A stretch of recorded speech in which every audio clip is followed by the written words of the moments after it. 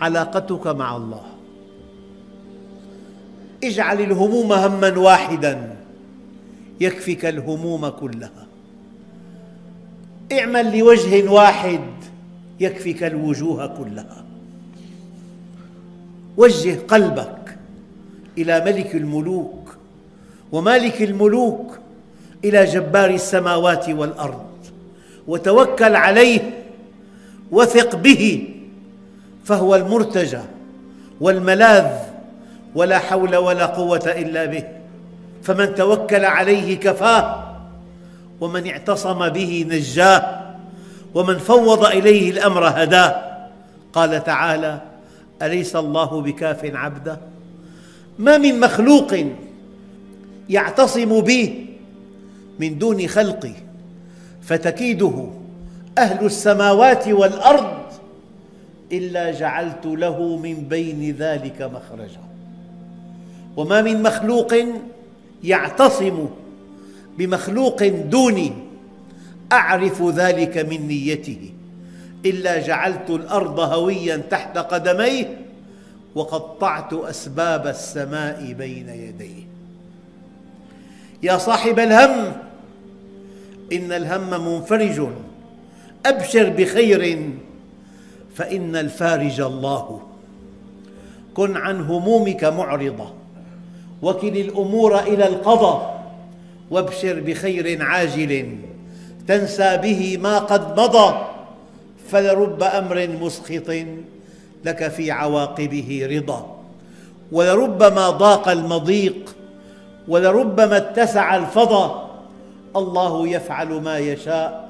فلا تكن معترضا. الله عودك الجميل فقس على ما قد مضى. يروي الإمام ابن الجوزي قال حكي عن بعض السلف أنه قال لتلميذه يا بني ما تصنع بالشيطان إذا سول لك الخطايا قال التلميذ أجاهده. قال الشيخ فإن عاد. قال أجاهده. قال فإن عاد قال أجاهده. فقال الشيخ هذا يطول يا بني ولكن إذا مررت بغنم فنبحك كلبها أو منعك من العبور فماذا تصنع؟ قال أجاهده. قال يا بني هذا أمر يطول استعن برب الغنم. يكفك كلابه. استعن برب الغنم يكفك كلابه. إذا كان الله معك فمن عليك وإذا كان عليك فمن معك. ويا رب ماذا فقد من وجدك وماذا وجد من فقدك؟ استعن بالله والجأ إليه فهو الحصن الحصين والملاذ المكين. ولما كان الله جل جلاله خالقنا ومربينا ومسيرنا فلنتحصن به فهو الذي يعلم ضعفنا وعجزنا. أيها الإخوة يقول بعض العلماء ماذا يفعل أعدائي بي بستاني في صدري؟ إن أبعدوني فإبعادي سياحة. وإن حبسوني فحبسي خلوة وإن قتلوني فقتلي شهادة. فماذا يفعل أعدائي بي؟ لذلك في الدنيا جنة. في الدنيا جنة التوحيد. من لم يدخلها لم يدخل جنة الآخرة. وقد قال تعالى ويدخلهم الجنة عرفها لهم في الدنيا ذاقوا طعمها في الدنيا. إنه التوحيد أمرك بيد واحد صحتك بيده زوجتك بيده أولادك بيده رزقك بيده من فوقك بيده من تحتك بيده من حولك بيده. هذا هو التوحيد. مرة دخلت إلى مسجد فإذا لوحة تكاد تحتل مقدمة المسجد. تقرأ هذه اللوحة يقشعر جلدك. هي آية كريمة. يد الله فوق أيديهم. هذا الذي تخافه هو في قبضة الله. هذا الذي تخشاه هو في قبضة الله. كن مع الله ترى الله معك. واترك الكل وحاذر طمعك. وإذا أعطاك من يمنعه ثم من يعطي إذا ما منعك. أيها الإخوة إن قوة الإيمان في القلب تضعف الشيطان. وكلما ازداد إيمان العبد ضعف تسلط الشيطان عليه. دققوا في قوله تعالى إنما استذلهم الشيطان ببعض ما كسبوا. عصى قصر حجب فاستزله الشيطان جعله يزل. يروى أنه كانت شجرة تعبد من دون الله. فجاء إليها رجل فقال لأقطعن هذه الشجرة. فجاء ليقطعها غضبا لله. فلقيه إبليس في صورة إنسان. قال له ما تريد؟ قال أريد أن أقطع هذه الشجرة التي تعبد من دون الله. قال إذا أنت لم تعبدها ماذا يضرك لو عبدها غيرك؟ هلا أكثر كلام يقال دعك من الناس. ينبغي ألا يعنيك أمرهم دعك منهم. فقال لأقطعنها فقال له الشيطان هل لك فيما هو خير لك؟ لا تقطعها ولك ديناران كل يوم. إذا أصبحت تجد الدينارين تحت وسادتك. قال فمن أين لي بذلك؟ قال أنا لك. فرجع فأصبح فوجد دينارين عند وسادته. بعد أيام أصبح لم يجد شيئا فقام غضبا ليقطعها. فتمثل له الشيطان. قال ما تريد؟ قال أريد أن أقطع هذه الشجرة. التي تعبد من دون الله؟ قال كذبت. ما لك إلى ذلك من سبيل؟ فذهب ليقطعها فضرب به الأرض وخنقه حتى كاد أن يقتله. قال أتدري من أنا؟ أنا الشيطان. جئت أول مرة غضبا لله فلم يكن لي عليك سبيل فخدعتك بالدينارين. فتركتها. فلما جئت غضبا للدينارين سلطت عليك أنت حينما تقاتل من أجل الدنيا لا تستطيع أن تفعل شيئا. أما حينما تغضب لله أنت أقوى إنسان. لذلك قال تعالى إنه ليس له سلطان على الذين آمنوا وعلى ربهم يتوكلون. إنما سلطانه على الذين يتولونه والذين هم به مشركون. فالشيطان لا سلطان له على المؤمن. إن عبادي ليس لك عليهم سلطان. أنت في حصن حصين. أنت بالتوحيد. في حصن حصين وأنت بالاستقامة في حصن حصين.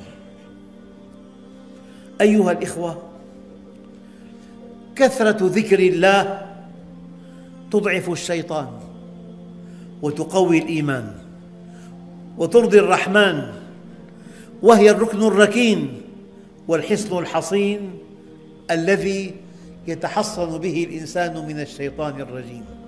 يا أيها الذين آمنوا اذكروا الله ذكرا كثيرا. لذلك في الصحيحين من حديث أبي موسى الأشعري رضي الله عنه أن النبي الحبيب صلى الله عليه وسلم قال مثل الذي يذكر ربه والذي لا يذكره مثل الحي والميت.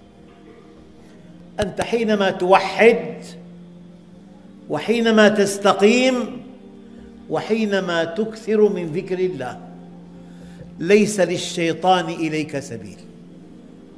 الحديث اليوم عن المعالجة وعن الوقاية. لذلك في صحيح مسلم عن أبي هريرة رضي الله عنه أن النبي صلى الله عليه وسلم قال في حديث طويل لا تجعلوا بيوتكم مقابر. إن الشيطان يفر من البيت الذي تقرأ فيه سورة البقرة.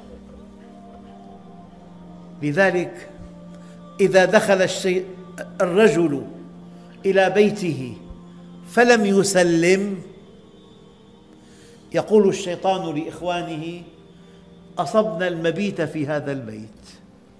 طول الليل مشاكل دخل فلم يسلم. وإذا جلس إلى الطعام ولم يسمي قال الشيطان لإخوانه أصبنا العشاء أيضا ما في بركة بالطعام. قال فإذا دخل ولم يسلم وجلس إلى الطعام ولم يسمي يقول الشيطان لإخوانه أدركنا المبيت والعشاء معا. في بيت كله مشاكل سباب ضرب لعن شتم خصومة عداء قطيعة. قد تستمر شهر. هذا من عمل الشيطان. ابحث عن المعصية. كيف أن ضباط الأمن الجنائي في أي جريمة يبحثون عن المرأة؟ قد تكون وراء هذه الجريمة. أنا أقيس عليها. ابحث عن المعصية.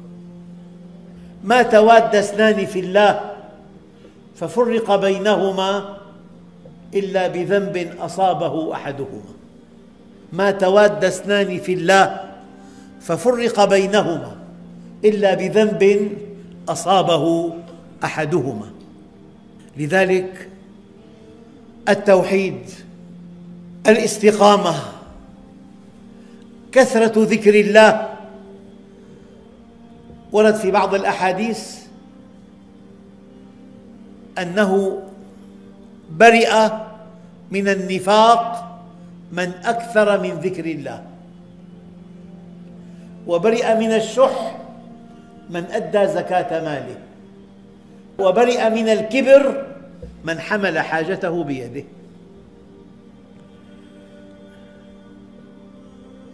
لذلك لا تجعلوا بيوتكم مقابر إن الشيطان يفر من البيت الذي تقرأ فيه سورة البقرة.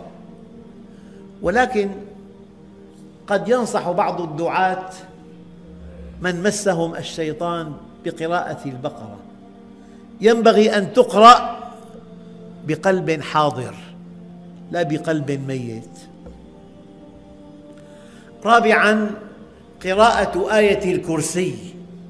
إذا أويت إلى فراشك فعن أبي هريرة رضي الله عنه قال وكلني رسول الله صلى الله عليه وسلم بحفظ زكاة رمضان فأتاني آت فجعل يحثو من الطعام فأخذته وقلت والله لأرفعنك إلى رسول الله صلى الله عليه وسلم. قال إني محتاج وعلي عيال ولي حاجة شديدة. قال فخليت عنه. فأصبحت فقال النبي الكريم يا أبا هريرة ما فعل أسيرك البارحة؟ يعني وكله النبي بحفظ أسير عنده. قلت يا رسول الله شكى حاجة شديدة وعيالا فرحمته وخليت سبيله. قال أما إنه قد كذبك وسيعود. فعرفت أنه سيعود لقول النبي الكريم. فرصدته فجعل يحثو من الطعام فأخذته فقلت لأرفعنك إلى رسول الله. عليه الصلاة والسلام. قال دعني فإني محتاج وعلي عيال لا أعود. فرحمته وخليت سبيله فأصبحت. فقال لي رسول الله عليه الصلاة والسلام يا أبا هريرة ما فعل أسيرك؟ قلت يا رسول الله شكى حاجة شديدة وعيالا فرحمته فخليت سبيله. قال أما قد كذبك وسيعود. فرصدته الثالثة فجعل يحثو من الطعام فأخذته. فقلت لأرفعنك إلى رسول الله صلى الله عليه وسلم. وهذا آخر ثلاث مرات تزعم أنك لا تعود. ثم تعود قال دعني أعلمك كلمات ينفعك الله بها. قلت ما هن؟ قال إذا أويت إلى فراشك فاقرأ آية الكرسي. إذا أويت إلى فراشك فاقرأ آية الكرسي. الله لا إله إلا هو الحي القيوم. حتى تختم الآية. فإنه لن يزال عليك من الله حافظ ولا يقربنك شيطان حتى تصبح. فخليت سبيله. فأصبحت فقال لي النبي الكريم ما فعل أسيرك البارحة؟ قلت يا رسول الله زعم أنه يعلمني كلمات ينفعني الله بها فخليت سبيله قال وما هي؟ قلت قال لي إذا أويت إلى فراشك فاقرأ آية الكرسي من أولها حتى تختم الآية وقال لي لا يزال عليك من الله حافظ ولا يقربنك الشيطان حتى تصبح. فقال النبي الكريم أما إنه قد صدقك وهو كذوب. تعلم من تخاطب؟ منذ ثلاث ليال يا أبا هريرة؟ قال لا. قال ذلك الشيطان. في صورة إنسان طبعا. يعني يبدو أن آية الكرسي بنص حديث رسول الله الصحيح تبعدك عن وساوس الشيطان وعن الكوابيس والمنامات المزعجة والخوف والقلق والإحباط والتشاؤم لكن بمعناها الله لا إله إلا هو ما في غيره. هو الغني هو القوي هو الرحيم هو الرزاق هو الفعال. الله لا إله إلا هو الحي القيوم. لا تأخذه سنة ولا نوم. له ما في السماوات والأرض. من ذا الذي يشفع إلا بإذنه؟ لا يؤثر شيء في شيء إلا بإذن الله. لا يؤثر شيء في شيء سلبا أو إيجابا إلا بإذن الله. وسع كرسيه السماوات والأرض ولا يؤوده حفظهما وهو العلي العظيم. أيها الإخوة ومن نصائح النبي صلى الله عليه وسلم قراءة الآيتين الأخيرتين من سورة البقرة. آمن الرسول بما أنزل إليه من ربه والمؤمنون كل آمن بالله وملائكته وكتبه ورسله. لا نفرق بين أحد من رسله. وقالوا سمعنا وأطعنا غفرانك ربنا وإليك المصير. أيضا سادسا قراءة المعوذات. ففي البخاري عن عائشة رضي الله عنها أن النبي صلى الله عليه وسلم كان إذا آوى إلى فراشه كل ليلة جمع كفيه ثم نفث فيهما فقرأ فيهما قل هو الله أحد وقل أعوذ برب الفلق وقل أعوذ برب الناس ثم يمسح بها ما استطاع جسده يبدأ بهما على رأسه ووجهه وما أقبل من جسده. يفعل ذلك ثلاث مرات. وعن عبد الله بن خبيب رضي الله عنه قال خرجنا في ليلة مطيرة وظلمة شديدة فطلبنا رسول الله صلى الله عليه وسلم فإذا هو يصلي فأدركته فقال قل. فلم أقل شيئا. ثم قال قل. فلم أقل شيئا. ثم قال قل. قلت ما أقول؟ قال قل هو الله أحد. الله الصمد. لم يلد ولم يولد ولم يكن له كفوا أحد. واقرأ المعوذتين. حينما تمسي وتصبح ثلاث مرات يكفيك من كل شيء. وفي رواية ما تعوذ الناس بأفضل منهما بالمعوذتين. ما تعوذ الناس بأفضل منهما. وعن عقبة بن عامر رضي الله عنه قال بين أنا أقود برسول الله صلى الله عليه وسلم راحلته في غزوة إذ قال يا عقبة قل. فاستمعت. ثم قال يا عقبة قل. فاستمعت. فقالها الثالثة قلت ما أقول؟ قال قل هو الله أحد. فقرأ السورة حتى ختمها ثم قرأ قل أعوذ برب الفلق وقرأت معه ثم ختمها ثم قرأ قل أعوذ برب الناس فقرأت معه حتى ختمها ثم قال ما تعوذ بمثلهن أحد إلا بالمعنى الدقيق يعني وقاه الله من كل شر.